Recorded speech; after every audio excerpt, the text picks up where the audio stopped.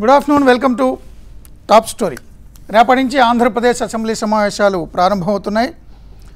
Budget ఎలా ఉండబోతోంది? So నిన్న పార్లమెంట్లో వైసీపీ ఎంపీలు కూడా అడిగారు ఆంధ్రప్రదేశ్ ఆర్థిక పరిస్థితి బాగాలేదు నిధులు విలువగా ఇవ్వాలంటూ. రామ్మోహన్ నాయుడు అయితే గుజరాత్కి మాత్రమే ఇస్తున్నారు గిఫ్ట్ సిటీకి పదేళ్ళు ట్యాక్స్ హాలిడే ఎక్స్టెండ్ చేశారు ఆంధ్రప్రదేశ్ విభజన జరిగిన తర్వాత. ఎందుకు సహకరించట్లేదు సహాయం చేయట్లేదంటూ ఆయన కూడా ప్రస్తావించారు. సో ఈరోజు శ్వేతపత్రం కూడా విడుదల చేశారు ఆంధ్రప్రదేశ్ ఆర్థిక మంత్రి బుగ్గన రాజేంద్రనాథ్ రెడ్డి. రెండు వేల పద్నాలుగు పంతొమ్మిది ఐదేళ్ళ కాలంలో చంద్రబాబు పాలనలో ఆంధ్రప్రదేశ్ ఆర్థిక స్థితి అధోగతికి చేరిందంటూ రెండు వేల నాలుగు తొమ్మిది వైఎస్ పాలనలో మాత్రం బాగుంది. ఈ పద్నాలుగు పంతొమ్మిది ఐదేళ్ళు మాత్రం గడ్డు కాలమేంటూ ఆయన శ్వేతపత్రం రిలీజ్ చేశారు. దానికి ప్రతిగా తెలుగుదేశం నాయకులు కూడా మరొక పేపర్ రిలీజ్ చేయబోతున్నారు. కేంద్రం అనేక అవార్డులు ఎందుకు ఇచ్చింది? అప్పుడు అధికారులే ఇప్పుడు అధికారులే. సో వాస్తవాలు ఎలా ఉంటే మీరు రాజకీయం చేస్తున్నారంటూ రేపు అసెంబ్లీ సమావేశాలు ఎలా జరగబోతున్నాయి? సో శాంతి భద్రతలు కార్యకర్తల మీద దాడులు అనే అంశాలకు సంబంధించి అసెంబ్లీలో రచ్చ జరగబోతుందా? సంక్షేమ పథకాలుగా పెద్దపీట వేస్తారా? నవరత్నాలకి ఎలాంటి నిధులు ఉంటాయి ఆర్థిక పరిస్థితి మీద క్లారిటీ వస్తుందా? ఎన్ని అంశాలకు సంబంధించి మనతో మాట్లాడడానికి సీనియర్ సంపాదకులు ప్రొఫెసర్ నాగేశ్వర్ గారు మనతో ఉన్నారు. నమస్కారం సార్. సో రేపటి నుంచి అసెంబ్లీ ఈరోజు వైట్ పేపర్ ఇచ్చారు. సో నవరత్నాలకి నిధులు సంక్షేమ పథకాలకి పెద్దపీట వేస్తారా? పాత స్కీములకు మంగళం పాడతారా? ఎలా ఉండబోతుందంటారు? అంటే ఇప్పుడు ఈ వైట్ పేపర్స్ కావు ఒక రకంగా ఇవి బ్లాక్ పేపర్స్. ఎందుకు బ్లాక్ పేపర్స్ అంటే తమ ప్రత్యర్థి ప్రభుత్వం పైన నిరసన పత్రం ఇది. శ్వేతపత్రం కాదు. అందుకే దీన్ని నేను వైట్ పేపర్ అన్నాను బ్లాక్ పేపర్ అంటాను. ఇది కేవలం ఈ ప్రభుత్వమే కాదు. ఇప్పుడు మీరు ఈ వైట్ పేపర్లో రెండు వేల నాలుగు రెండు వేల తొమ్మిది రాజశేఖర రెడ్డి ప్రభుత్వ హయాంలో బాగా జరిగింది. రెండు వేల పద్నాలుగు పంతొమ్మిది మధ్యకాలంలో చంద్రబాబు నాయుడు ప్రభుత్వంలో బాగా లేదు అని ఎవరైనా వ్యాఖ్యానిస్తే అది అర్థం లేని కంపారిజన్ ఎందుకంటే ఆ రోజు అది ఉమ్మడి రాష్ట్రము ఈరోజు విభ విభజిత రాష్ట్రం. దేశంలో కూడా రెండు వేల నాలుగు రెండు వేల ఎనిమిది అంటే two thousand eight financial crisis వచ్చే వరకు దేశంలో ఎకనామిక్ భూమి ఉన్నటువంటి కాలం అది. సో ఇప్పుడు దేశ ఎకానమీ కూడా డౌన్ఫాల్లో ఉన్నటువంటి కాలం ఇది. అందువల్ల ఈ రెండు పీరియడ్స్ ఇన్ కంపేర్ చేయడానికి వీలు లేని పీరియడ్స్ ఒకటి పొలిటికల్ కంపారిజన్ అంటే ఆ రోజు రాజశేఖర్ రెడ్డి ఈ రోజు రాజన్న రాజ్యం. ఉన్నది కనుక కంపేర్ చేసుకోవచ్చు. అయితే ఈ ప్ర ఈ వైట్ పేపర్లను బ్లాక్ పేపర్లుగా మార్చిన ఘనత కేవలం జగన్మోహన్ రెడ్డి ప్రభుత్వాన్ని కాదు. చంద్రబాబు నాయుడు ప్రభుత్వం కూడా శ్వేతపత్రాల పేరిట వైట్ పేపర్లు రిలీజ్ చేసింది. ఆ వైట్ పేపర్లు కూడా మీకు ఆసక్తిగా ఉంటాయి. ఆ వైట్ పేపర్లు నేను ప్రతి వైట్ పేపర్ చదివాను. సో ఆ వైట్ పేపర్లో ఇంట్రెస్టింగ్ ఏంటంటే నైంటీ నైన్ నుంచి టూ థౌజండ్ ఫోర్ అంటే చంద్రబాబు నాయుడు పాలనలో అద్భుతాలు జరిగాయి. టూ థౌజండ్ ఫోర్ నుంచి టూ థౌజండ్ ఫోర్టీన్ వరకు అన్యాయం జరిగింది. ఫోర్టీన్ నుంచి బాగా జరుగుతుందని చెప్పారు. అది కూడా ఏం comparison ninety nine two thousand ఫోర్లో చంద్రబాబు నాయుడు ఉమ్మడి రాష్ట్రానికి ముఖ్యమంత్రి. అప్పుడు రెండు వేల పద్నాలుగు పంతొమ్మిదిలో విభజిత రాష్ట్రానికి ముఖ్యమంత్రి. మధ్యలో పది పీరియడ్ పది సంవత్సరాలు రెండు వేల నాలుగు నుంచి రెండు వేల పద్నాలుగు వరకు అది ఉమ్మడి రాష్ట్రం. దీని దానికి ఏం కంపారిజను అందువల్ల ఇప్పుడు టీడీపీ ఆ రోజు వైట్ పేపర్లను బ్లాక్ పేపర్లు చేసి చంద్రబాబు నాయుడు పాలన బాగుంది. తర్వాత వచ్చిన రాజశేఖర రెడ్డి ఇతర కాంగ్రెస్ ముఖ్యమంత్రులు నాశనం చేశారు. మేమొచ్చి బాగు చేసే పనిలో పడ్డాము అని చెప్పారు. ఇప్పుడు జగన్మోహన్ రెడ్డి ప్రభుత్వంలో వైట్ పేపర్లో ఏం చెప్తున్నారు? రే అంతకుముందు ఉన్న ప్రభుత్వం చంద్రబాబు నాయుడు ప్రభుత్వం అనేది ఒక ఆనాటి బ్లాక్ డే అది. Black period. సో అందువల్ల ఇది ఆ రోజంతా ఈ ఐదేళ్ళు అన్యాయమే జరిగింది. ఇప్పుడు మేము బాగు చేస్తామని మీరు చెప్తున్నారు. అందువల్ల ఇవి వైట్ పేపర్లు కాదు బ్లాక్ పేపర్లు. ఇవి శ్వేతపత్రాలు కాదు నిరసన పత్రాలు. ఇవి శ్వేతపత్రాలు వాస్తవిక దృక్పథంతో ఉండే పత్రాలు కావు ఈ ప్రచార పత్రాలు. అందువల్ల డేటాను ఇప్పుడు స్టాటిస్టిక్స్ పైన ఒక విమర్శ ఉంది. స్టాటిస్టిక్స్ స్టాటిస్టిక్స్ డామ్ లైఫ్ అని. అంటే గణాంకాలు గణాంకాలు అబద్ధాలు. ఇవి అబద్ధాలు అంటే గణాంకాలను కూడా మీరు కంపేర్ చేసిన పీరియడ్ దానికి రకరకాల క్యాలిక్యులేషన్స్ ఉంటాయి. ఇప్పుడు ఉదాహరణకు ఒక ఏడాది క్రితం యాభై రూపాయలు ఉంది ఆదాయం. ఇప్పుడు అరవై రూపాయలు అయింది అనుకోండి. దా అంత దీన్ని ఏం చేస్తారు? అంతకు ముందు ఏడాది నలభై ముప్పై రూపాయలు ఉందనుకోండి. వీళ్ళు ఏం చేస్తారు? యాభై నుంచి అరవై మాత్రమే పెరిగిందని ఒకరు చెప్తే ముప్పై నుంచి అరవై పెరిగింది రెట్టింపు అయిందని ఇంకోటి చెప్తారు. ఒకరు అబ్సల్యూట్ నెంబర్స్ ఇస్తే ఇంకొకరు పర్సంటేజెస్ ఇస్తారు. సో అందువల్ల స్టాటిస్టిక్స్ను అటు ఇటు తిప్పి తమ పొలిటికల్ పాయింట్ను చెప్పుకోవటానికి ఈ వైట్ పేపర్లను ఉపయోగిస్తున్నారు కనుక ఇది గతంలో చంద్రబాబు నాయుడు ప్రభుత్వం విడుదల చేసిన ఇప్పుడు జగన్మోహన్ రెడ్డి ప్రభుత్వం విడుదల చేసిన ప్రజల ముందు వాస్తవాలు పెట్టి ఒక వాస్తవిక చర్చను ప్రజల్లో కలిగించడానికి చేసే ప్రయత్నాలు కావు. ఈ ప్రయత్నాలు ఏంటంటే తమ ప్రత్యర్థులు పాలించిన పీరియాన్ని పీరియడ్ను అదొక బ్రహ్మ ఒక చీకటి యుగంగా తాము పాలిస్తున్న కాలాన్ని సువర్ణయుగంగా తీ- చెప్పేటువంటి బ్లాక్ పేపర్స్ పాంఫ్లెట్సే తప్ప సీరియస్ ఎకడమిక్ డిస్కోర్స్కు ఉపయోగపడేటువంటి పత్రాలుగా ఉండడం లేదన్నదే నా ఆవేదన.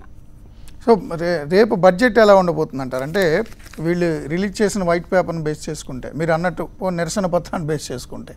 సో నిధులు పెద్దగా లేనట్టుగా ఉన్నాయి అప్పులు ఎక్కువైపోయాయని చెప్తున్నారు వృద్ధి రేటు తగ్గిందంటున్నారు. పార్లమెంట్లో ఏమో స్టేటస్ అనేది ఇక మర్చిపోండి అని చెప్తున్నారు. నిన్న కూడా చెప్పారు. No status. అయితే ఇది కూడా మీకు ఇప్పుడు రెండు వేల పద్నాలుగులో చంద్రబాబు నాయుడు ప్రభుత్వం శ్వేతపత్రాలు ఇచ్చి ఏం చెప్పారు? కేంద్రం నిధులు కేంద్రం నుంచి రాష్ట్ర విభజన మాకు అన్యాయం చేసింది. ఇంకా అప్పటికి వైట్ పేపర్స్ టైం వరకు ఎన్డీఏలో నుంచి బయటికి రాలే. అందువల్ల వైట్ రాష్ట్ర విభజన ఘోరంగా చేశారు. కాంగ్రెస్ పార్టీ అప్పుడు టార్గెట్. రాష్ట్ర విభజన వల్ల మేము మన బా ఆంధ్రప్రదేశ్ తీవ్రంగా ఆర్థిక వినాశాన్ని ఒక ఫిజికల్ అండ్ ఎకనామిక్ డిజాస్టర్ని ఎదుర్కొంటోంది. ఈ పరిస్థితుల్లో ఆంధ్రప్రదేశ్ అయినా కూడా చంద్రబాబు నాయుడు చతురత సామర్థ్యంతో ఉరుకులు పరుగులు తీస్తోందని చెప్పారు. ఇప్పుడు కూడా అదే చెప్తారు. ఇప్పుడు కూడా చెప్పబోయేది ఏంటంటే రాష్ట్ర విభజన దానికి తోడు చంద్రబాబు నాయుడు దుష్పరిపాలన ఆంధ్రప్రదేశ్ను దివాలా తీస్తుంటే కేంద్రము సహకరించడానికి సిద్ధంగా లేకున్నా ఆ పదం చెప్తారో లేదో మనం చూడాలి బడ్జెట్లో. ఎందుకంటే పొలిటికల్గా ఇంకా బీజేపీతో ఏ రియల్ రిలేషన్షిప్ ఉంటుందన్న దానిపైన ఆ పాయింట్ ఉంటుంది. విభజన అన్యాయాల గురించి ఎలాగో చెప్తారు. ఇప్పుడు మీకు గవర్నర్ అడ్రస్లో కూడా విభజన కా వల్ల జరిగిన నష్టం గురించి ప్రస్తావించారు. ఇప్పుడు అదనంగా ప్రస్తావించేది ఏంటంటే విభజన నష్టం చేసింది. ఆ పైన చంద్రబాబు నాయుడు పాలన ఇంకా నష్టం చేసింది. అతి ఘోరమైన శిథిలమైన దును- దయనీయమైన కడు దయనీయమైన స్థితిలో ఉన్న రాష్ట్రాన్ని జగన్మోహన్ రెడ్డి బాగు చేస్తాడని చెప్తారు. అందువల్ల ఇది ఒక పొలిటికల్ ఈ వైట్ పేపర్ ఇదే ట్రైలర్. రాబోయే కాలంలో మీరు బడ్జెట్లో చెప్తారు. ఐదేళ్ళు చెప్తారు. మీకు చంద్రబాబు నాయుడు వైట్ పేపర్ తర్వాత ఐదేళ్ళు ఏం చెప్పాడు? రాష్ట్రం అన్యాయంగా ఉంది అన్యాయంగా ఉంది అయినా నేను బాగు చేస్తున్నా అని చెప్పాడు ఇప్పుడు జగన్మోహన్ రెడ్డి కూడా రాష్ట్రం అన్యాయంగా ఉంది అన్యాయంగా ఉందని బాగు బాగు చేస్తామని చెప్తారు. దీనివల్ల ఒక అడ్వాంటేజ్ ఏంటంటే ఇప్పుడు చంద్రబాబు నాయుడు కొన్ని క్వశ్చన్లు అడిగారు. మీరు రుణమాఫీ సరిగా అమలు చేయలే అంటే కేంద్రం రాష్ట్రానికి అన్యాయం చేసింది అన్నాడు. మీరు ఇంకో పలానా వాగ్దా జాబ్ జాబ్ రా బాబు వస్తే జాబ్ వస్తుందన్నారు. బాబు వచ్చారు కానీ జాబ్ రాలేదు. బాబు బాబు మంత్రి అయ్యాడు కానీ జాబ్ రాలేదు అని ప్రత్యర్థులు విమర్శించారు. కేంద్రం అన్యాయం చేసింది అన్నాడు దానికైనా. సో నువ్వు ఏమన్నా అడుగు? కేంద్రం అన్యాయం చేసిందని మాత్రమే చెప్పారు.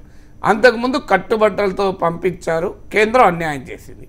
తర్వాత కట్టుబట్టలతో పంపించిన వాళ్ళతో స్నేహం మొదలైనాక కట్టుబట్టలతో పంపిస్తున్నారు అనేది కొద్దిగా తగ్గించి మెల్లగా అని బట్టలతో పంపించారని ఆ కేంద్రం అన్యాయం చేసిందని గట్టిగా అన్నాడు. ఇప్పుడు జగన్మోహన్ రెడ్డి కూడా ఏమంటాడు? విభజన అన్యాయం చేసిందని అంత గట్టిగా అంటాడో లేదో కేంద్రం అన్యాయం చేస్తోంది అని అంత తక్కువ చాలా మెల్లగా అంటాడు. గట్టిగా నేను చంద్రబాబు నాయుడు ఆంధ్రప్రదేశ్ దుర్మార్గంగా మార్చేశాడు అంటాడు ఇప్పుడు ఆ వాయిస్ ఏది పెరుగుతుంది ఏది తగ్గుతుంది అనేది మాడ్యులేషన్. ఇప్పుడు కేంద్రంపై గతంలో చంద్రబాబు నాయుడు అన్నంత తీవ్రంగా అనడు. ఇప్పుడు అన్నిటికీ చంద్రబాబు నాయుడు దుష్పరిపాలనే కారణం. దీనివల్ల ఏంటంటే రేపు బడ్జెట్లో ఒక మేజర్ ఛాలెంజ్ ఏంటంటే నవరత్నాలు అమలు చేయాలి. విభజన హామీ ఆయన ఎన్నికల హామీలు అమలు చేయాలి. భారీగా హామీలు ఇచ్చారు. ఇప్పుడు మొదటి నలభై రోజుల పాలన చూస్తే నలభై రోజులు దాకా అయినట్టుంది. ఈ మొదటి కొన్ని కొన్ని రోజుల పాలన చూస్తే is very very keen on implementing promises ఇప్పుడు ఇరవై ఏడు శాతం ఐఆర్ ఇచ్చేసాడు అమ్మ ఒడి త్వరలో ప్రారంభమన్నారు. కడప స్టీల్ ప్లాంట్ డిసెంబర్లో ప్రారంభిస్తామంటున్నారు. మీరు పింఛన్లు పెంచేశారు. ఇలా హడావుడిగా ప్రామిసెస్ను అనౌన్స్ చేస్తున్నాడు. చేస్తున్నప్పుడు దీనికి అయ్యే లెక్కలేంటి? ఇది అరవై వేల కోట్ల రూపాయల దాకా అవుతుందని ఒక అంచనా. మీకు ఇంకా ప్రభుత్వం స్పష్టమైన అంచనా ఇవ్వలేదు. అది బడ్జెట్లో మనం చూడాలి. ఇందులో కొన్ని ఇంప్లిమెంటేషన్ పూర్తిగా జరుగుతాయా అనేది క్వశ్చన్ ఇప్పుడు ఎందుకంటే గ్రామ వాలంటీర్లను నియమిస్తున్నారు సచివాలయ నిర్మిస్తున్నారు ఒకవైపు మద్యపాన నిషేధాన్ని అమలు చేస్తున్నారు. ఇందులో ఈ పరిస్థితి ఈ ప్రక్రియలో ఎక్కడైనా అపశృతి తగిలితే ఇప్పుడు ఆల్రెడీ ఉదాహరణకు పింఛన్ మీరు మూడు వేలు చేస్తానన్నారు రెండు వేల రెండు వందల యాభై చేశారు అనే విమర్శ మొదలైంది. సో ఇలాంటి విమర్శలు వచ్చినప్పుడు దానికి ఆన్సర్ ఉండాలి. ఆ ఆన్సరే ఈ శ్వేతపత్రం. సో ఎప్పుడైనా ఒక హామీ అమలు కాకపోయినా ఒక హామీ మొదలు పెట్టకపోయినా ఇప్పుడు నిరుద్యోగ భృతి ఇంకా వరకు మొదలు పెట్టలేదు. సో ఏదైనా హామీ సమగ్రంగా అమలు చేయకపోయినా లేదా అసలు అమలే ప్రారంభం కాకపోయినా ఎవరైనా అడిగితే అడగాలని ప్రయత్నం చేస్తే ఇంకో రాష్ట్ర ఆర్థిక పరిస్థితి ఇలా ఉంది దీనికి చంద్రబాబు నాయుడు కారణం అని చెప్తారు. రేపు బడ్జెట్లో పెద్ద గొప్పగా చేయలేకపోతే ఎందుకంటే బడ్జెట్ అనేక ఇప్పుడు వైఎస్ఆర్ కాంగ్రెస్ పార్టీకి చెందిన ఎంపీఏ పార్లమెంట్లో చెప్పినట్లు తీవ్రమైన ఆర్థిక సవాళ్ళను అసలు జీతాలు కూడా ఇచ్చుకోలేని ఆర్థిక దుస్థితిలో బడ్జెట్ రూపొందిస్తున్నారు. సో అందువల్ల ఆ బడ్జెట్లో రియల్గా ఎంత కేటాయింపులు ఉంటాయి? ఇప్పుడు మీరు నిర్మలా సీతారామన్ చూసాం కేటాయింపులే ప్రస్తావించకుండా బడ్జెట్ ప్రవేశపెట్టారు. అన్ని కేవలం ఇది చేస్తాం అది చేస్తాం అనే విశ్లిస్తే తప్ప ఎక్కడ కేటాయింపులు చెప్పలేదు. కేటాయింపులు చూసుకోండి అన్నారు. అంటే అర్థం ఏంటి? కేటాయింపులు సరిగా లేవని ఆమె కూడా తెలుసు. అవి సరిగా లేని ఎందుకు చెప్పాలి అని చెప్పలే. మీరు ఏ కేటాయింపులు తీసుకున్నా మీకు తగ్గిపోతూ వచ్చాయి. గతంతో పోలిస్తే పెద్దగా పెరగకపోవడం తగ్గుతూ వచ్చాయి. విద్యకి రెండున్నర శాతం రెండు పాయింట్ ఐదు. అదే ఉపాధి హామీ పథకానికి వెయ్యి కోట్లు తగ్గాయి. షెడ్యూల్ కులాలకు టూ పాయింట్ నైన్ పర్సెంట్ గిరిజనులకు వన్ పాయింట్ నైన్ పర్సెంట్ మహిళలకు కేటాయింపులు five point one percent of the budget నుంచి four point nine percent of the budget తగ్గింది. మీకు వ్యవసాయ శాఖ శాఖకు లక్షా ముప్పై ఎనిమిది వేల కోట్లు ఇచ్చిన అందులో డెబ్బై ఐదు వేల కోట్లు పిఎం కిసాన్ పథకానికి మాత్రమే ఇచ్చారు. ఇలా ప్రతి ఒక్కటి తగ్గే వరకు ఏం చెప్పారు? అందుకొరకు కేటాయింపులు చెప్పలే. ఈ కేటాయింపులు చెప్పకుండా ప్రసంగం చేసిన తొలి ఆర్థిక మంత్రిగా Nirmala Sitharaman Guinness book of world రికార్డ్స్కి ఎక్కబోతున్నారు. బహుశా రేపు రాజేంద్రనాథ్ రెడ్డి కూడా అదే పని చేస్తాడా? కేటాయింపులు చెప్పకుండా విశ్లిస్ట్ చెప్పడము కేటాయింపులు చేసిన ఆచరణలో నిలబడకపోవడము ఈ రకమైన బడ్జెట్ ఉపద్రవం రాబోతుంది కనుక ఆ బడ్జెట్ ఉపద్రవానికి ఎవరు దోషి అన్నప్పుడు జగన్మోహన్ రెడ్డి ప్రభుత్వం కాదు చంద్రబాబు నాయుడు ప్రభుత్వం అని చెప్పడం. ఇప్పుడు రేపు బడ్జెట్లో జరగబోయేది అదే. శ్వేతపత్రాన్ని ప్రతి సభ్యుడు వల్లిస్తాడు. నా నమ్మకం వైఎస్ఆర్ కాంగ్రెస్ పార్టీకి నూట యాభై ఒక్క మంది ఎమ్మెల్యేలు కనీసం మాట్లాడే ముప్పై మంది ఎమ్మెల్యేలు ఇవాళ పరీక్షలకు ఐఐటికి రేపు ఎగ్జామ్ రాసే వాళ్ళలాగా ఆ శ్వేతపత్రాన్ని ముప్పై పైగా పేజీల్ని అటు ఇటు చదివి దాంట్లో అండర్లైన్ చేసుకొని ఇక రేపు మొదలు పెడతారు చంద్రబాబు నాయుడు ప్రభుత్వం పైన దాడికి. ఇందుకు వాళ్ళు కూడా సిద్ధమై వాళ్ళు ఒక వైట్ పేపర్తో వాళ్ళు వాళ్ళ వాళ్ళ వైట్ పేపర్ వాళ్ళు పట్టుకొస్తున్నారు వీళ్ళ వైట్ పేపర్ వీళ్ళు పట్టుకొస్తున్నారు. అంటే మరి అది ఎలా ఏది ఎలా ఏది వైట్ పేపర్ అవుతుంది? వైట్ అంటే ఒకటే ఉండాలి. అందువల్ల ఒకటి ఎల్లో పేపర్ బ్లాక్ పేపర్ అవుతుంది. ఏమో చూద్దాం. So black paper versus yellow పేపర్గా budget సమావేశాలు ప్రారంభం కాబోతున్నాయి. అంటే ఇప్పుడు ఈ నవరత్నాలకు సంబంధించి కేంద్రం ఒకవేళ కేంద్రం ఏదైనా ఆర్థిక సాయం చేసినా నగదు రూపంలో చేస్తుంది అంటారు ఎందుకంటే ఈ హామీలన్నీ నగదు. అంటే ఇప్పుడు మీరు అన్నది నిజం. కేంద్రం ఇచ్చిన రాష్ట్ర జగన్మోహన్ రెడ్డి ఇచ్చిన హామీలు నగదు. ఒక నగదు రూపాల్లో అంటే ఇప్పుడు కేంద్రాన్ని ఏమని అడుగుతారు? నేను అమ్మఒడి ప్రారంభిస్తున్నా నాకు డబ్బులు ఇవ్వండి అంటారా? నీకు డబ్బులు ఇచ్చి నీ పేరిట అమ్మఒడి ఏం చేసుకుంటారు? వాళ్ళే అటల్ బిహారీ వాజ్పేయి అమ్మఒడి పథకం అని పెట్టుకుంటారు కదా. నీకెందుకు అవకాశం ఇస్తారు?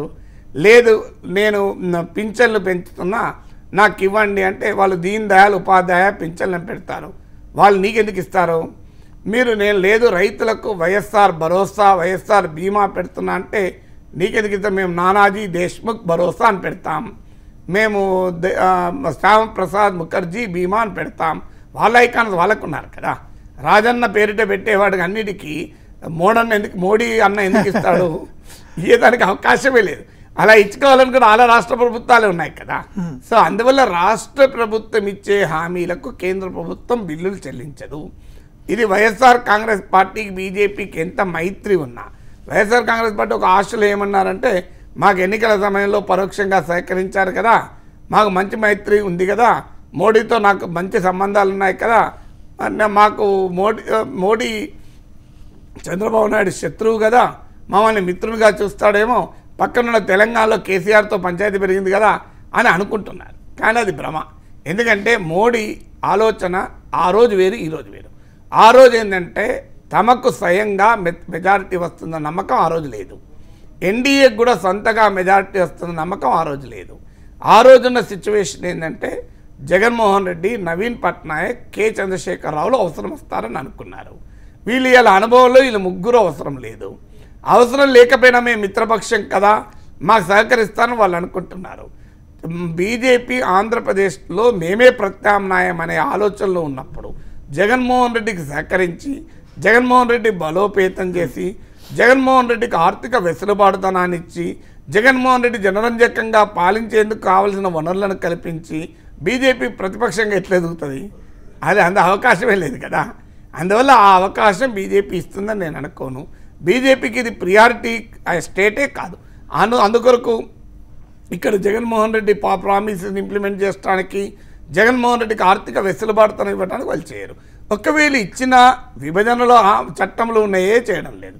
విభజన చట్టంలో ఉన్నవి క్యాష్ రిలేటెడ్ కాదు. కేవలం కొన్ని ఇప్పుడు వెనుకబడిన ప్రాంతాలకు ప్రతి ఏటా యాభై కోట్లు ఇస్తాం.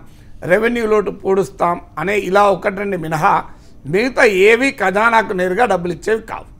కా- ఇక కడప స్టీల్ ప్లాంట్ పెడతామన్నారు విశాఖ రైల్వే జోన్ అన్నారు petroleum refinery and cracker unit అన్నారు దుగ్గరాజపట్నం పార్ట్ పోర్ట్ అన్నారు విద్యా సంస్థల ఏర్పాటు అన్నారు.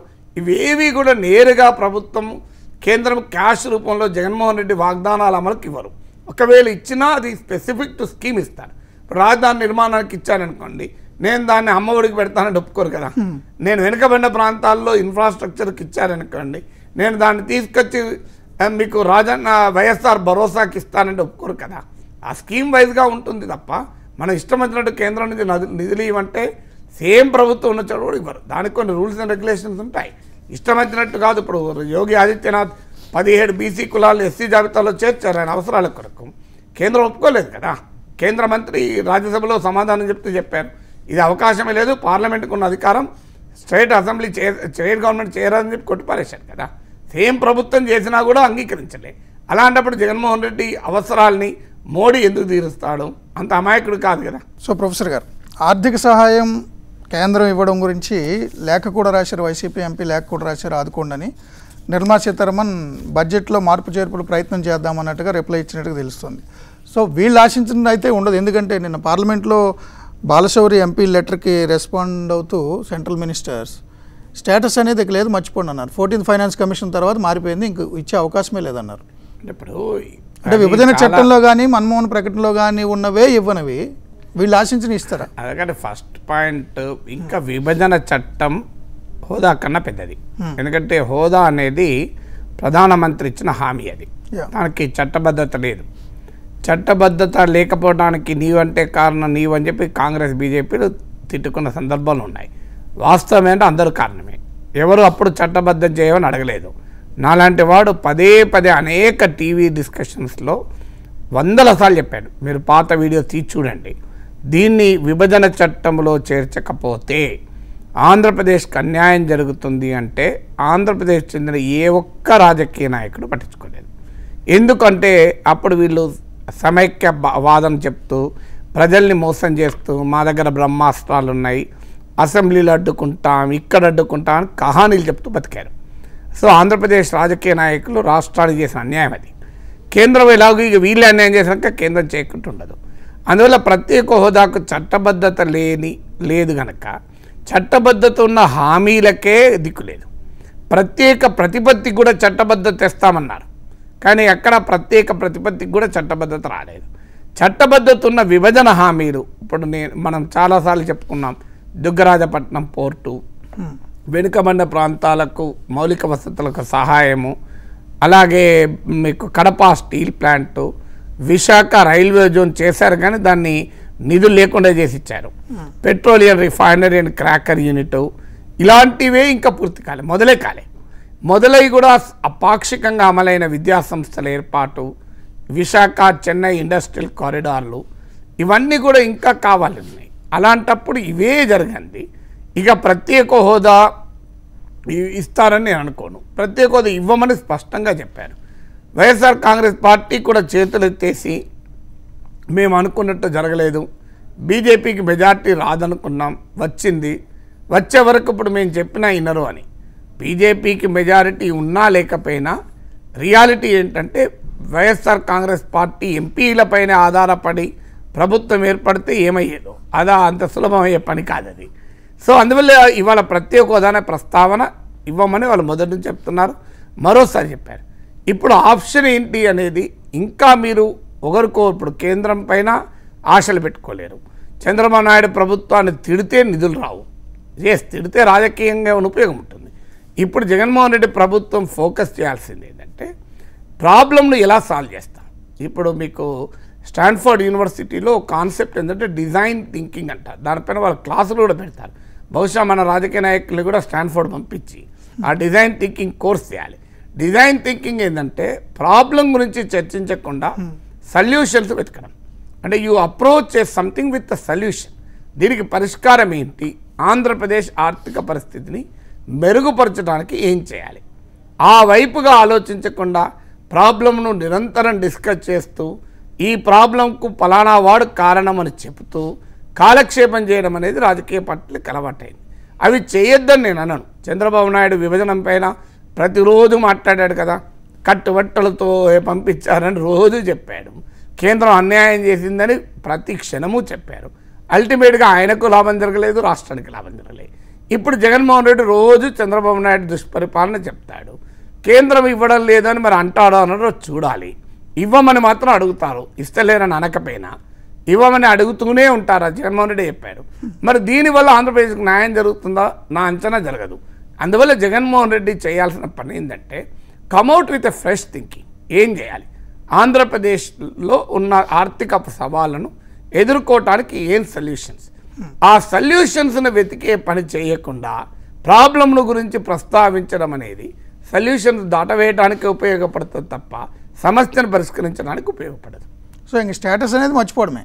స్టేటస్ అనేది గడిచిన కేంద్ర అసెంబ్లీ సమావేశాల్లో తీర్మానం చేశారు జగన్. అయితే జగన్మోహన్ రెడ్డి అనేది ఏంటంటే వైఎస్ఆర్ కాంగ్రెస్ అనేది ఏంటంటే అరవై తొమ్మిదిలో తెలంగాణ మర్చిపోండి అన్నారు. మళ్ళీ జయాంధ్ర ఉద్యమం వచ్చినప్పుడు మర్చిపోండి అన్నారు. రెండు వేల నాలుగు తొమ్మిది పద్నాలుగు దాకా మర్చిపోండి అని అంటూనే ఉన్నారు. రెండు వేల పద్నాలుగు గుర్తొచ్చింది కదా? అంటే యాభై ఐదేళ్ళు నలభై ఐదేళ్ళ నిరంతరం ఆ సమస్యను అలా. ఉంచుతూ టీఆర్ఎస్ రాజీనామాలు చేస్తూ రాజీనామాలు చేస్తూ దాని ఒక పొలిటికల్ సొల్యూషన్ లాగా డెలివర్ చేశారు కదా. ఇప్పుడు అది లేదు ఇక్కడ. సో మేము కూడా అలా చేస్తాము. చేస్తే ప్రత్యేక హోదా వస్తుందని. ఆ రకమైన రాజకీయ అవసరాన్ని గనక క్రియేట్ చేస్తే వస్తుంది అనేది ఒక క్వశ్చన్. కానీ రాజకీయంగా ప్రజలు ఆ రకంగా తీర్పు చెప్తున్నారా? ఇది ఒక క్వశ్చన్. అప్పుడు చంద్రబాబు నాయుడు నిరంతరం ఎస్టాబ్లిష్ చేసింది ఏంటి? రాష్ట్రానికి ప్రత్యేక హోదా ఇవ్వని అన్యాయం చేసిన బీజేపీకి వైఎస్ఆర్ కాంగ్రెస్ అంటకాగుతోంది అని ఎస్టాబ్లిష్ చేసే ప్రయత్నం చేశాడు. కానీ ప్రజలు వైఎస్ఆర్ కాంగ్రెస్కి ఓటేశారు. బీజేపీకి ఓటు వేయలేదు శిక్షించడమా నిజం. కానీ ఇవాళ బీజేపీలోకే రాజకీయ నాయకులు వెళ్తున్నారు. అందువల్ల ఎంత మేరకు ఇది పొలిటికల్ కంపల్షన్ క్రియేట్ చేస్తారు? సో పొలిటికల్ కంపల్షన్ కనుక క్రియేట్ అయితే ఏదో రూపంలో ఆంధ్రప్రదేశ్కు న్యాయం జరుగుతుంది. ఆ పొలిటికల్ కంపల్షన్ తెలంగాణ ఉద్యమం క్రియేట్ చేసింది కనుక కాంగ్రెస్ పార్టీ తెలంగాణ ఇచ్చింది. వేరే రీజన్ కాదు. కానీ ఒక ప్రత్యేక రాష్ట్ర డిమాండ్ను ప్రత్యేక హోదా డిమాండ్ను ఒకే రకంగా చూడడం కరెక్ట్ కాదు. అందువల్ల ప్రత్యేక హోదా కొరకు అడుగుతూనే ఉండవచ్చు. ఇప్పుడు మళ్ళీ ఫిఫ్టీన్త్ ఫైనాన్స్ కమిషన్ రాబోతోంది. అందులో కనుక ఇంకేమైనా వెసులుబాటు ఇస్తారో చూడాలి. కానీ ఈలోగా ఆంధ్రప్రదేశ్ రావాల్సిందైతే ట్రై చేయాలి కదా. సో ప్రత్యేక హోదా వస్తుందా రాదా అనేది ఒక ధర్మమీమాంస ఉన్నా ఈలోగా ఏం చేయాలనే ప్రయత్నమే చేయాలి కదా. కేంద్రం నుంచి ఏ రకంగా నిధులు ఎక్కువ రాబట్టుకుంటాం. ఆ ఎక్సర్సైజ్ అయితే చేయాలి కదా. ఇదివరకంటే చంద్రబాబు నాయుడు ప్రభుత్వానికి సంబంధాలు లేవు కనుక ఆ ఎక్సర్సైజ్ చేయలేకపోయారు. ఇప్పుడు సంబంధం ఉంది కదా. ఇప్పుడు మెరుగైన సంబంధాలు ఉన్నప్పుడు మీరు ఆ ఎక్సర్సైజ్ అయినా చేయండి అనేది అడిగేది. ఆ ఎక్సర్సైజ్ చేయకుండా ఒకరి మీద ఒకరు రాజకీయ విమర్శలు చేసుకుంటే రాష్ట్ర ప్రజలకు దక్కేది అయితే ఉండదు. సో బీజేపీ టీడీపీని మేమే రిప్లేస్ చేస్తూ ఉంటుంది సాధ్యమంటారు ఆంధ్రప్రదేశ్లో? అంటే ఫినిష్ ఎవరు ఎవరిని చేస్తారనేది ప్రజలు చేయాలి ఫినిష్. పార్టీలు చేస్తాయని అనుకోను. అయితే బీజేపీకి ఉన్న ఎక్స్పీరియన్స్ ఏంటంటే అనుకోని ఊహించని కూడా చేసిన చరిత్ర బీజేపీకి ఉంది. త్రిపుర. త్రిపురలో కాంగ్రెస్ను ఫినిష్ చేసి లెఫ్ట్ను ఫినిష్ చేసి బీజేపీ వస్తుందని ఎవరు అనుకోలేదు. బెంగాల్లో లెఫ్ట్ను ఆరు శాతం ఓటింగ్కి పరిమితం చేసి ఈ స్థాయిలో నలభై మా తృణమూల్ కాంగ్రెస్కి మేమే ప్రత్యర్థి. రేపు అసెంబ్లీలో ఎన్నికల్లో అధికారంలోకి వచ్చినా రావచ్చు అనే స్థాయికి వస్తారని ఊహించలేదు. దేశవ్యాప్తంగా రెండు సీట్లున్న పార్టీ మూడు వందల మూడు సీట్లతో గెలుస్తుందని కూడా ఎవరు ఊహించలేదు. తెలంగాణలో నాలుగు పార్లమెంట్ సీట్లు వస్తాయని కూడా ఎవరు లెక్కలేయలేదు. అందువల్ల బీజేపీకి ఉన్న చరిత్ర ఏంటంటే it can make things possible in a very unpredictable manner ఎలా చేస్తారు అంటే వాళ్ళకు ఒక పద్ధతులు ఉన్నాయి కొన్ని. ఆ పద్ధతి ఏంటంటే గ్రాస్ రూట్స్ నుంచి పార్టీ ఆర్గనైజేషన్. ఇప్పుడు ఒక యాభై మంది ఓటర్లకు ఒక ప్రముఖను పెడతారు. పన్నా ప్రముఖ్. ప్రముఖ్. సో ఆ రకంగా మొదలు పెడతారు. తర్వాత రెండవది ఏంటి అంటే ఒక పెద్ద డివిసివ్ ఎజెండా తీసుకురాగలుగుతారు. ఆ ఎజెండాలో మిగతా పార్టీలకు చేత కాదు. మూడోది ఏంటంటే ఇప్పుడు టీడీపీకి ఇవాళ పరిస్థితుల్లో కేంద్ర రాష్ట్ర ప్రభుత్వాలను ఉపయోగించుకొని పెద్ద ఎత్తున ఒత్తిడి తెస్తారు. ఇప్పుడు చంద్రబాబు నాయుడుకు సన్నిహితంగా ఉన్న వారిపైన జరుగుతున్నటువంటి పరిణామాలు మనం చూస్తున్నాం. అది రాజకీయ నాయకులు కానీ అధికారులు కానీ. సో ఈ రకంగా అష్టదిగ్బంధనం చేస్తారు. ఈ అష్టదిగ్బంధనం చేయడం ద్వారా ఆశ్చర్యకరమైన ఫలితాలు పొందటానికి బీజేపీకి అవకాశం ఉంది. అయితే జరుగుతుందా? ఎందుకంటే త్రిపురలో కాంగ్రెస్ లాగా ఉత్తర బెంగాల్లో లెఫ్ట్ లాగా ఇక్కడ తెలుగుదేశం కాదు. ఎందుకంటే లెఫ్ట్ అక్కడ మూడు నాలుగు సుమారు నాలుగు దశాబ్దాలు పాలించింది. సో అక్కడ ఇవాళ ఇక్కడ తెలుగుదేశం పార్టీ ఒక ఐదేళ్ళే పాలించింది వివిధ రాష్ట్రంలో. అందువల్ల ఇవాళ ఉన్న సిచ్యువేషన్ అక్కడున్న సిచ్యువేషన్ ఒకటే ఉండదు. కానీ టీడీపీకి చెంది ఇప్పటి వరకైతే పెద్ద ప్రజాదరణ కలిగిన నాయకులు ఎవరు? బీజేపీలో చేరలేదు. ప్రజలు బీజేపీకి క్షమించేటువంటి పరిస్థితిలో లేరు. పాయింట్ ఎయిట్ 0.9% ఫోర్ ఇచ్చారు ఓన్లీ ఒక శాతం కూడా ఇవ్వలేదు. ఒక్క శాతం కూడా ఇవ్వలేదు. సో ఇక్కడ ఆంధ్రప్రదేశ్లో బెంగాల్ లాగా బార్డర్ స్టేట్ కాదు. బెంగాల్ లాగా హిందూ ముస్లిం డివైడ్ ఉన్న రాష్ట్రం కాదు. బెంగాల్ లాగా మమతా బెనర్జీ పట్ల ఉన్న వ్యతిరేకత జగన్మోహన్ రెడ్డి పట్ల ఇంకా లేదు. అందువల్ల అక్కడి ఫ్యాక్టర్స్ ఇక్కడ ఉంటాయి. మేము బెంగాల్ చేస్తాం ఆంధ్ర త్రిపుర చేస్తాం అస్సాం చేస్తాం కర్ణాటక చేస్తాం. మీరు ఆంధ్రప్రదేశ్ ఆంధ్రప్రదేశ్ చేయండి. ఏమవుతుందో చూద్దాం. సో తెలంగాణ ఆంధ్రప్రదేశ్ రెండు రాష్ట్రాల్లో అనూహ్యమైన పరిణామాలని కిషన్ రెడ్డి అంటున్నారు రామ్ మాధవ్ అంటున్నారు మురళీధర్ రావు అంటున్నారు మొన్న అమిత్ షా కూడా అంటున్నారు. అంటే అనూహ్యమైన రెండేళ్ళలోనే ప్ర- ప్రభుత్వాలు మార్చే పరిస్థితి ఉంటుంది. ఇక్కడ ఒకే ఒక్క ఎమ్మెల్యే సీటు అక్కడ ఒక పర్సెంట్ కూడా ఓట్లేదు అంటే ఒక ఎమ్మెల్యే సీట్నప్పుడు నూట పంతొమ్మిది ఎమ్మెల్యేలు ఉంటారు తెలంగాణలో. అరవై మంది వస్తే ప్రభుత్వం మారుతుంది. టీఆర్ఎస్కి ఇప్పుడు ఫిరాయింపుల దారులతో కలిపితే వంద దాటింది. అందులోకెళ్ళి అరవై మంది యాభై తొమ్మిది మంది ఎమ్మెల్యేలను లాగితే తెలంగాణలో అధికారం వస్తుంది. యా- యాభై తొమ్మిది ప్లస్ ఒకటి కలిస్తే అరవై అవుతుంది సో అంటే ఎమ్మెల్యేని లాగడమే. అంటే ఇంక వేరే ఇంకో మార్గం. చూపించి అన్ని రకాలు. ఇంకో మార్గం లేదంటే ఇంకో ఇప్పుడు కర్ణాటకలోనేమో వీళ్ళకే వన్ నాట్ ఫైవ్ సీట్స్ ఉన్నాయి కనుక పద్నాలుగు మంది రాజీనామాలు చేయిస్తే అంటే వాళ్ళు ఎమ్మెల్యే అసెంబ్లీ స్థాయికి రాజీనామా రిజైన్ చేయిస్తే ఓవరాల్ స్ట్రెంత్ పడిపోయి బీజేపీకి ఉన్న స్ట్రెంత్ మెజారిటీకి ఉపయోగపడ్డది. తెలంగాణలో కర్ణాటక ఫార్ములా సాధ్యం కాదు. ఆంధ్రలో కర్ణాటక ఏ ఫార్ములా ఇప్పుడే ఉపయోగిస్తారని అంటలేరు. మీకు ఆంధ్రలో తెలంగాణలో బీజేపీ నినాదానికి ఒక తేడా ఉంది. ఆంధ్రలో ఇప్పటికిప్పుడు మేము అధికారంలోకి వస్తామంటలేరు ప్రధాన ప్రత్యామ్నాయం మేమే బీజేఎల్పీ ఆఫీస్ అయితే ఉంటుంది అంటున్నారు బీజే బీజేపీ ఆఫీస్ ఉంటుంది శాసనసభలో బీజేపీ పక్షం. ఉంటుంది మేమే వైఎస్ఆర్ కాంగ్రెస్కు ప్రధాన ప్రతిపక్షం అంటున్నారు. టీడీపీ ఉండదు అంటారు. తెలంగాణలో ఏమంటున్నారు? అధికారమే మాది. అసలు టూ థౌజండ్ ట్వంటీ త్రీ వరకు ఈ ప్రభుత్వం ఉండదు అంటున్నారు. అందువల్ల వీళ్ళు ఇక అది జరగాలి అంటే ఒకటి యాభై తొమ్మిది మంది టీఆర్ఎస్ ఎమ్మెల్యేలు పార్టీ ప్రాయించి వేరే కుంపటన పెట్టుకోవాలి. బీజేపీలోనే చేరాలి. వేరే కుంపటి పెట్టుకుంటే ఈ ఒక్క ఎమ్మెల్యే వెళ్ళి ఆ యాభై తొమ్మిది మందికి సపోర్ట్ చేస్తే అక్కడే ఇది ఎన్డీఏ ప్రభుత్వం వస్తుంది. ఇదొక పాసిబిలిటీ. రెండో పాసిబిలిటీ ఏంటి? టీఆర్ఎస్లో సంక్షేమం ఏర్పడితే కొంతమంది ఎమ్మెల్యేలు రాజీనామా చేస్తే ఈ ప్రభుత్వానికి మెజారిటీ ఉండదు గనక అప్పటి వరకు గవర్నర్ ఎలాగూ మనవాడే ఉంటాడు. ఇప్పుడున్న గవర్నర్ అయినా రాబోయే గవర్నర్. ఎవరైనా కేంద్రమే కదా. ఎవరైనా కేంద్రమే కదా. సో వాళ్ళని ఉపయోగించి ఆ శాసనసభలో సంక్షోభం వస్తే మధ్యంతర ఎన్నికలు ఈ మధ్య లక్ష్మణ్ కూడా ఎక్కడో అన్నట్లు పత్రికల్లో వచ్చింది. సో మధ్యంతర ఎన్నికలు రాబోతున్నాయని. సో అది రెండవ పాసిబిలిటీ. మూడవ పాసిబిలిటీ ఏంటంటే టూ థౌజండ్ ట్వంటీ త్రీ ఎన్నికల్లో మేమే వస్తాం. అప్పటికి కాంగ్రెస్ పార్టీని అటు మోడీ వాయిస్తే ఇటు కేసీఆర్ వాయిస్తే రెండు వైపుల నుంచి వాయింపు అవుతుంటే కాంగ్రెస్లో ఉన్న ఎమ్మెల్యేలు ఎవాపరేట్ అవుతుంటే అదే అయ్యే అవకాశం. ఈ పాసిబిలిటీ బెంగాల్లో జరిగింది. మీకు బెంగాల్లో తృణమూల్ కాంగ్రెస్ విపరీతమైన దాడి పెట్టింది లెఫ్ట్ పైన. జరిగింది ఏంటి లెఫ్ట్ డిసప్పియర్ అయింది బీజేపీ అపియర్ అయింది. ఇప్పుడు తెలంగాణలో కూడా కేసీఆర్ కాంగ్రెస్ను డిసప్పియర్ చేయాలని చూస్తున్నారు. డిసప్పియర్ అయితే బీజేపీ అపియర్ అవుతుంది. ఆంధ్రప్రదేశ్లో వైఎస్ఆర్ కాంగ్రెస్ టీడీపీని డిసప్పియర్ చేయాలని చూస్తున్నాడు. బీజేపీ మోడీ కూడా డిసప్పేర్ చేయాలని చూస్తున్నాడు. అప్పుడు కనుక టీడీపీ డిసప్పేర్ అయితే బీజేపీ అప్పేర్ అవుతుంది. అందువల్ల బీజేపీ అప్పేర్ కావాలి అంటే ఇక్కడ కాంగ్రెస్ డిసప్పేర్ కావాలి ఆడ టీడీపీ డిసప్పేర్ కావాలి టీఆర్ఎస్లో పెద్ద చిలిక రావాలి జగన్మోహన్ రెడ్డి వైఎస్ఆర్ కాంగ్రెస్లో పెద్ద చిలుక రావాలి ఇవన్నీ జరిగితే అప్పుడు ఏమైనా పొలిటికల్ మా చేంజ్కి అవకాశం ఉంటుంది. ఇది వెరీ బిగ్ టాస్క్ కానీ బీజేపీ లాంటి పార్టీలు అస్సాం త్రిపుర బెంగాల్ కర్ణాటక గోవా జమ్మూ కాశ్మీర్ ఇలా అనేక రాష్ట్రాల్లో అరుణాచల్ ప్రదేశ్ వచ్చిన అధికారంలోకి వచ్చిన తీరు చూస్తే వీటిని కొట్టిపారేయలేము జరగడం అంత సులభం కాదు కానీ కొట్టిపారేయలేమనే అభిప్రాయానికైతే రావచ్చు. సో అంటే తెలంగాణలో ఛాన్స్ ఉందంటారు ఎక్కువ మేజర్? ఛాన్స్ అంటే హైదరాబాద్ ఉంది ఎంఐఎం ఉంది. తెలంగాణలో కొన్ని ఫ్యాక్టర్స్ బీజేపీకి ఆశ కలిగిస్తున్నాయి. ఒక ఫ్యాక్టర్ ఏంటంటే. అసెంబ్లీ నుంచి ఎన్నికల్లో ఒక్క సీట్ ఒక్క సీటు గెలుచుకున్న పార్టీ లోక్సభ ఎన్నికల్లో నాలుగు ఎంపీ సీట్లు వచ్చాయి. రెండు ఆ అసెంబ్లీ ఎన్నికల్లో ఏడు శాతం ఓటింగ్ ఉంటే లోక్సభ ఎన్నికల్లో ఇరవై శాతం ఓటింగ్ పెరిగింది. మూడు సాంప్రదాయకంగా కూడా బీజేపీకి తెలంగాణలో బలం ఉంది. ఒకప్పుడు కూడా మీకు కరీంనగర్ సీట్ గెలుచుకున్న అవును విద్యాసాగర్. విద్యాసాగర్ గెలిచారు సికింద్రాబాద్ సీట్ చాలాసార్లు గెలిచారు. సో ఇక్కడ ఒక హిస్టరీ ఉంది ఇది థర్డ్. ఫోర్త్ ఫ్యాక్టర్ ఏంటంటే బెంగాల్ తరహాలో ఇక్కడ ముస్లిం అపీజ్మెంట్. అంటే మైనారిటీలకు బుజ్జగిస్తున్నారు అన్నప్పుడు counter Hindu consolidation majority consolidation చేసేందుకు ఒక అవకాశం ఉంటుంది. ఆ అవకాశం కేసీఆర్ ఇస్తున్నారు ఎంఐఎంతో ఉన్న మైత్రి వల్ల. తర్వాత ఇక్కడ డెమోగ్రఫిక్ కాంపోజిషన్ బెంగాల్ లాగా.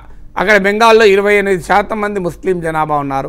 అస్సాంలో కూడా గణనీయమైన సంఖ్యలో ముస్లిం పాపులేషన్ ఉంది. తెలంగాణలో కూడా ట్వెల్వ్ పర్సెంట్ ముస్లిం పాపులేషన్. ఉమ్మడి రాష్ట్రం కన్నా ఎక్కువ. సో ఈ హిందూ ముస్లిం పోలరైజేషన్ ఉత్తరప్రదేశ్లో బెంగాల్లో అస్సాంలో ఉపయోగపడ్డట్టు తెలంగాణలో ఉపయోగపడటానికి అవకాశం ఉంది. తెలంగాణలో ఉండేటువంటి ఇన్ ముస్లిం ఓటు ముస్లిం పాలిటిక్స్కు ఆంధ్రప్రదేశ్లో ఉన్న ముస్లిం పాలిటిక్స్ తేడా ఉంది. చాలా తేడా. తెలంగాణలో ఉన్న ముస్లిం పాలిటిక్స్ ఎంఐఎం ఇన్ఫ్లుయెన్స్లో ఉండడం వల్ల బీజేపీకి బెనిఫిట్ అడ్వాంటేజ్ ఉంటుంది. ఆంధ్రప్రదేశ్కి వచ్చేవరకు ఏంటంటే ముస్లిం ఐడెంటిటీ కన్నా తెలుగు ఐడెంటిటీ బలమైంది. ఒక్క మీకు అస్సాము తెలంగాణ అది కూడా హైదరాబాద్ కేరళ మినహా ముస్లిం ఐడెంటిటీతో పార్టీలు లేవు. మీకు దేశంలో ఎక్కడ కూడా. మీరు కొన్ని చోట్ల మహారాష్ట్రలో ఉత్తరప్రదేశ్లో ఎంఐఎం కొంత ప్రయత్నం చేయొచ్చు. మీకు కాశ్మీరు అస్సాం కాశ్మీర్లో మీకు మహబూబా ముఫ్తీ నాయకత్వంలో ఉన్న పీడీపీ అస్సాంలో బద్రుద్దీన్ కమల్ నాయకత్వంలో ఉన్న ఏఐయుడిఎఫ్ కేరళలో I Indian union Muslim league హైదరాబాద్లో మజ్లిస్ ఇత్తహాదుల్ ముస్లిమీన్. ఈ నాలుగు మాత్రమే Muslim polarise Muslim identity politics ఉన్నాయి. ఈ నాలుగు చోట్ల బీజేపీ పెరుగుతుంది. మీరు గమనిస్తే కాశ్మీర్లో కౌంటర్ కన్సాలిడేషన్ జమ్మూలో చేశారు. జమ్మూలో బీజేపీ మెజారిటీ పార్టీ అయింది. చివరకు పీడీపీతోనే పొత్తు పెట్టుకొని ప్రభుత్వం ఏర్పాటు చేసింది. అస్సాంలో అస్సాం ఐడెంటిటీ పాలిటిక్స్ కన్నా కూడా ఈ ముస్లిం ఐడెంటిటీ పాలిటిక్స్ ముఖ్యమయ్యాయి. అస్సాంలో అధికారంలోకి రాగలిగారు.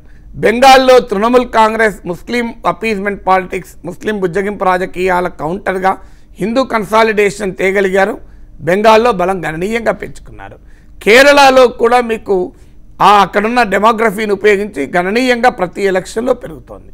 అందువల్ల ఎక్కడైతే ముస్లిం కన్సాలిడేషన్ పాలిటిక్స్ ఉన్నాయో అక్కడల్లా బీజేపీ పెరుగుతుంది. మీరు ఉత్తరప్రదేశ్లో బి బీహార్లో ముస్లిం యాదవ్ కాంబినేషన్తో రాజకీయాలు నడిపారు. అక్కడ ఇలా బీజేపీ పెరుగుతోంది.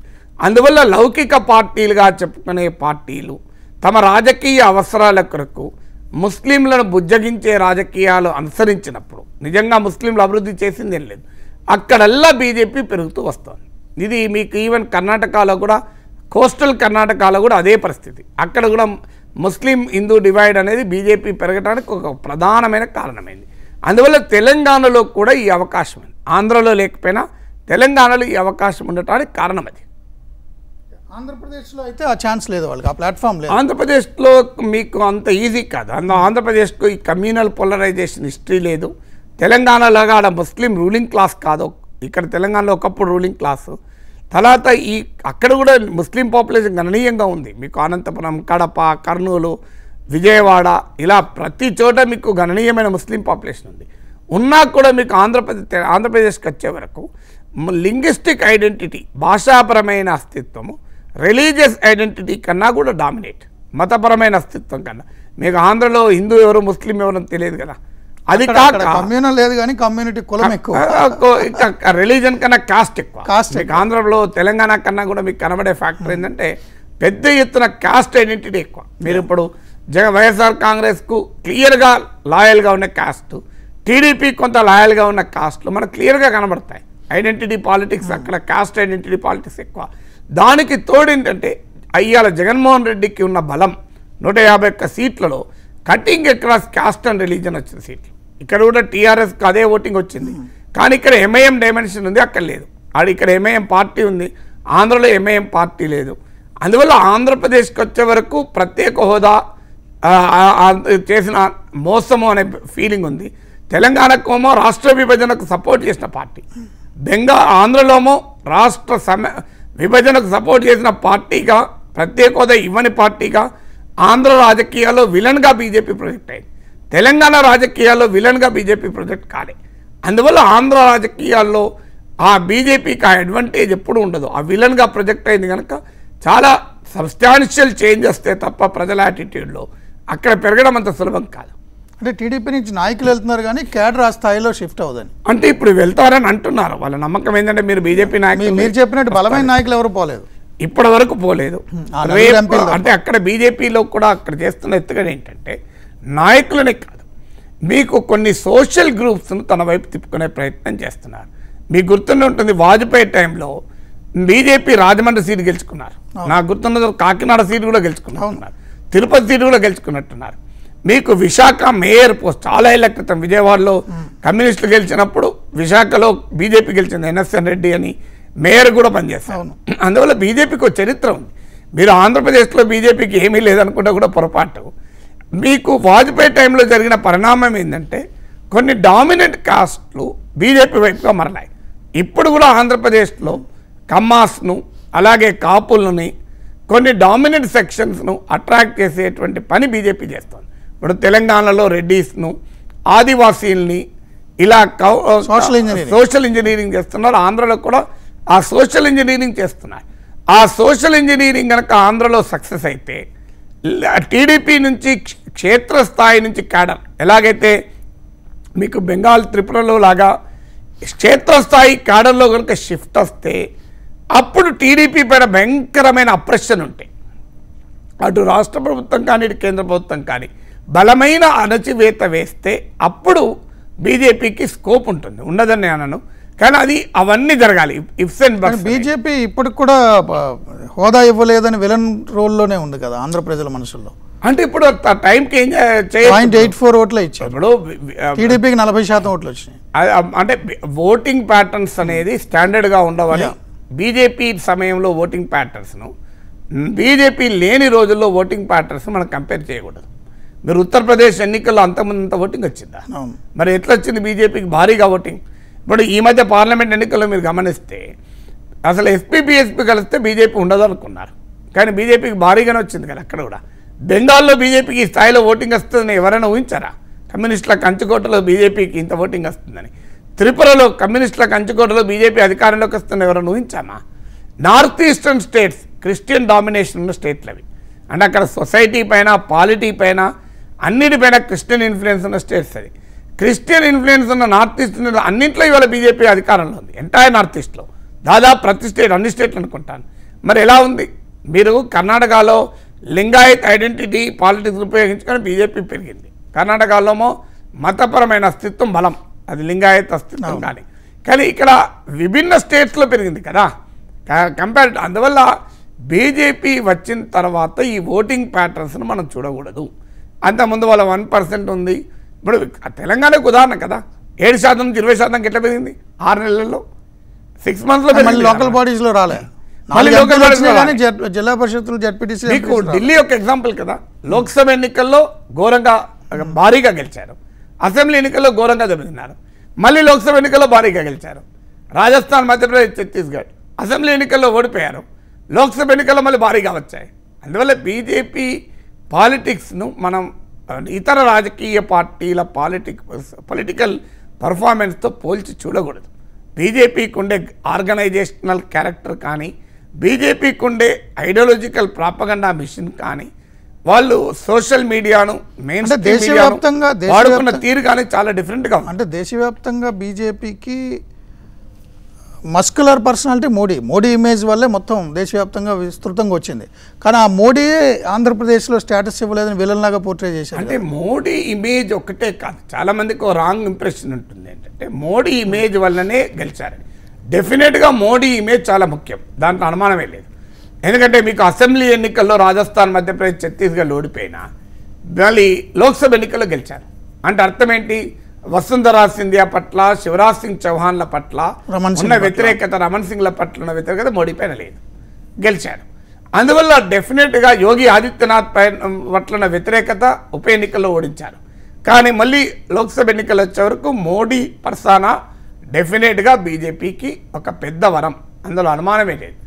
మీరు అన్నట్లు ఆ మోడీ పర్సన ఆంధ్రప్రదేశ్లో మోడీ అంటే అనుకూలత లేదని కూడా మనం చెప్పలేం. మోడీ యొక్క ప్రత్యేక హోదా విషయంలోనే వ్యతిరేకత ఉంది. జనరల్గా మీరు జాతీయ రాజకీయాల్లో మళ్ళీ మోడీ పట్ల సానుకూలత వచ్చింది. కేవలం రాష్ట్ర పరిస్థితుల వరకు మాత్రమే వచ్చింది. అది థ్యాంక్స్ టు టీడీపీ క్యాంపెయిన్. దాన్ని ఓవర్కమ్ చేయగలిగితే మోడీ పర్సన్ ఉపయోగపడుతుంది. ఎందుకంటే తానా సభల్లో కూడా రామ్ మాధవ్ మాట్లాడుతుంటే వద్దన్నట్టు చెప్పారు అక్కడ ప్రజలు. మిగిలిన అన్ని విషయాల్లో మళ్ళీ ఓకే. అంటే ఏపీకి సంబంధించి సంథింగ్ ఏదో తేడా చేశారనే ఫీల్ ఉందేమో అని. అంటే ఆంధ్రప్రదేశ్ వరకు ఉంది. టానాది లెక్క కిందకి రాదు. టానా అంటే అది Telugu Desam association of north America అని కూడా విమర్శలు ఉన్నాయి దానికి. సో టానాలో ఒక పర్టికులర్ కమ్యూనిటీ డామినేషన్ కూడా అందరికీ తెలిసిన విషయం అది. అందువల్ల ఆడ మీకు మీరు టానా మహాసభలో మోడీ కన్నా బాలకృష్ణ పాపులర్ ఉంటారు. సో దాన్ని ఏం చేయలేం మనం అది. అందుకల్ల అక్కడ మొదటి నుంచి కూడా టానాలో ఒక ఒక పొలిటికల్ పార్టీ ఒక కమ్యూనిటీ డామినేషన్ అందుకే మీరు గమనించండి వాళ్ళు మీకు ఆ వ్యవహారంలో కూడా గెస్ట్ల నుంచి మొదలుకొని అన్నిట్లో మనకు కనబడుతుంది ఈ ధోరణి. సో అందువల్ల టానా మాసంలో మనం గీట్రాయిగా తీసుకోలేము. కానీ గీట్రాయ్ గీట్రాయి ఏంటంటే ఆంధ్రప్రదేశ్కి అన్యాయం చేసింది అనే విషయంలో మోడీని వ్యతిరేకిస్తున్నారు. కానీ భారతదేశానికి మోడీ అనేటప్పుడు మాత్రం ఆ వ్యతిరేకత లేదు. మరి అది కూడా మనం గమనించాలి. అంటే ఇప్పుడు ఎన్నికల ఆంధ్రప్రదేశ్ అనే యాంగిల్లోనే కదా వాళ్ళు ప్రభుత్వం వ్యతిరేకత- ఏర్పాటు చేస్తాం ఎందుకంటున్నాడు ఆ వ్యతిరేకత ఉండి ఉంటే మోడీకి వ్యతిరేకంగా టీడీపీ జరిపిన క్యాంపెయిన్కు ఎంపీ సీట్లు రావాలి. అసెంబ్లీ సీట్లు రాకపోయినా ఎంపీ సీట్లు రావాలి కదా. అంటే దేశంలో మోడీని రానివద్దు అనే కోరిక ఆంధ్రప్రదేశ్ ప్రజల్లో ఉంటే చంద్రబాబు నాయుడు చేసిన ప్రచారానికి టీడీపీకో పది పదిహేను ఎంపీలు రావాలి. రాలే కదా. అంటే అర్థం ఏంటి? మోడీ పట్ల ఉన్న వ్యతిరేకత యూని డైమెన్షనల్ అంటే ఆంధ్రప్రదేశ్ ఆంధ్రప్రదేశ్లో అసలు బీజేపీ ఎగ్జిస్టెన్స్ లేదని. పోటీ వైసీపీ టీడీపీ మధ్య ఉన్నప్పుడు లేని బీజేపీతో ఈయన ఫైట్ చేశాడు అని. అంటే ఆంధ్రాలో లేని బీజేపీతో ఈయన మొత్తం ఫైట్ చేశాడు లేకపోయినా ఎంపీ సీట్లు వచ్చే వరకు ఇప్పుడు అసెంబ్లీకి లేదు. కానీ ఎంపీ సీట్లు వచ్చే వరకు మోడీ ఉన్నాడు బీజేపీ ఉంది కదా. సో బీజేపీకి ఆంధ్రప్రదేశ్లో ఎన్నికలు మోడీకి అను వ్యతిరేక అనుకూల ఎంపీలను లోక్సభకు పంపిస్తారని కదా చంద్రబాబు అని నాయుడు చంద్రబాబు స్ట్రాటజీ కానీ గ్రౌండ్లో అసలు బీజేపీ కానీ కాంగ్రెస్ కానీ లేదు.